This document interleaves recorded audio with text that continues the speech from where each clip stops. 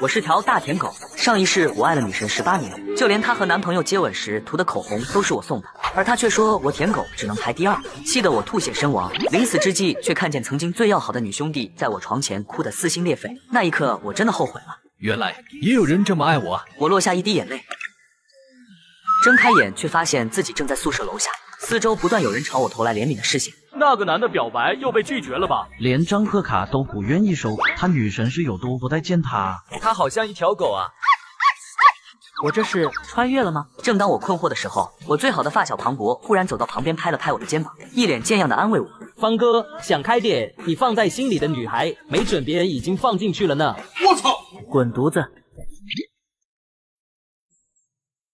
拿去，这贺卡和手机送你了。义父，果真吗？骗你干什么？反正没人要，肥水不流外人田。庞博拿着手机纠结了许久，还是推给了我。算了吧，一千多块钱呢，你还不知道砍了多少方便面，不行就退了，回头请爸爸吃顿老乡鸡就成。哥们不糊弄你，拿着吧。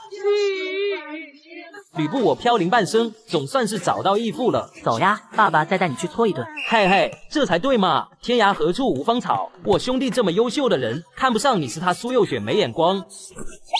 那确实，你这个确实是什么意思？就是我觉得你说的对，天涯何处无芳草，何必要吃窝边草？真的假的？以前苏幼雪是你的命，你能放得下？一想到把她是我的命这种话。挂在嘴边，我现在就感觉脚趾一紧，随时能给你抠出个三室一厅。这才是我兄弟嘛，心中无女人，拔刀自然神。和庞博出去吃好喝好后，一觉睡醒已经是上午九点多，耳边响起熟悉的彩铃声。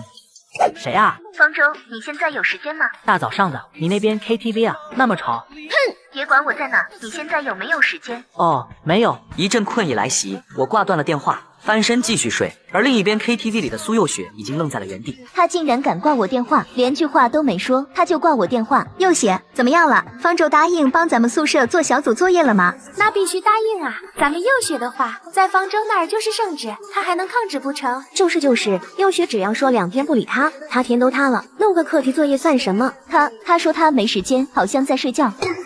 睡觉，这大中午的睡什么觉？就是说啊，睡觉哪有咱们宿舍的小组作业重要？你赶紧让他起来干活，你的话他一定会听。可是他已经把电话挂了，他之前从来没有挂过我的电话，他今天怎么能这样？那你给方舟发消息，他睡得迷迷糊糊，应该是没听出你声音。哼，竟然连我的声音都听不出来，太可恶了！必须惩罚他，就罚他一个星期不许给我们带早饭好了。行吧，就这样。苏幼雪这样想着。给我发了条消息过去，男生宿舍里，我早就给手机开了勿扰模式，躺在床上酣畅大睡。很快到了下午的计算机课，眼看马上就要上课了，我还没出现在教室，苏幼雪他们开始着急起来。幼雪，方舟怎么还不来？不知道，可能在帮咱们弄课题作业吧，不知道来不来得及。开什么玩笑？他可是清北苗子生，学霸中的战斗机，赶一个二级页面的课题作业，还不是轻轻松松？那就再等等。大概又等了十几分钟，我和庞博一起来到了教室上课。苏幼雪的室友已经开始迫不及待的招手。方舟这边，我微微愣神，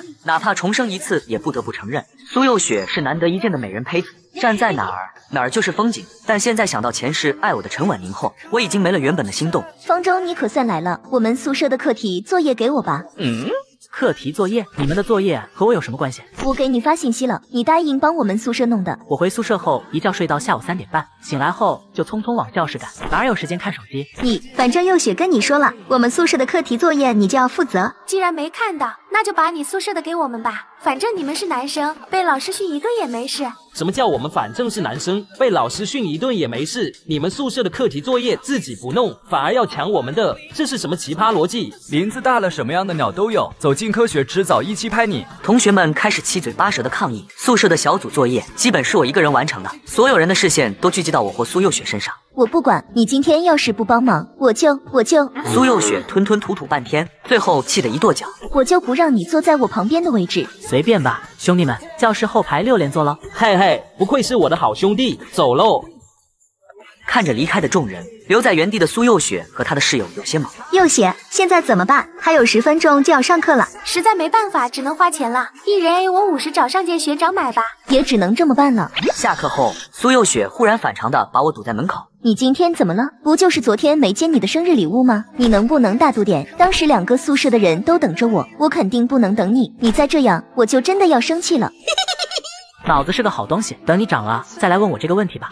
方舟，我这次是真的生气了，你就不能像个男人一样和我好好说话吗？我选择了无视，头也不回的离开了。他气得直跺脚。小薇，你说方舟怎么回事？他昨天不是还给你送早饭吗？你们中间发生什么事了？就今天去宿舍楼下接我的时候送了我礼物，当时你们都在那边等我，我就没多想，没理他，直接走了。哦，我明白了，他一定是想用这种方式吸引你的注意力。会哭的孩子有奶吃吗？那我该怎么办？你故意晾他几天就行，到时候他发现这招不管用，自然而然又贴上来了。苏幼雪想了下，感觉小薇说的对。我第一次拒绝他的时候，他也像现在这样冷淡过。我听你的，就晾上他几天。哼，到时候他想要跟你和好，你可千万端着点。别轻易答应了，要不然这次他该给你甩脸子，下次就敢上房揭瓦。我知道的。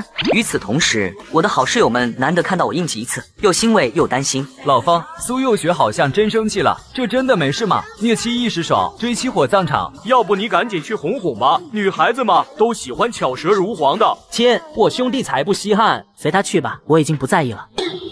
牛逼，方哥，我已经开始对你刮目相看了。去去去，对我义父说话客气点。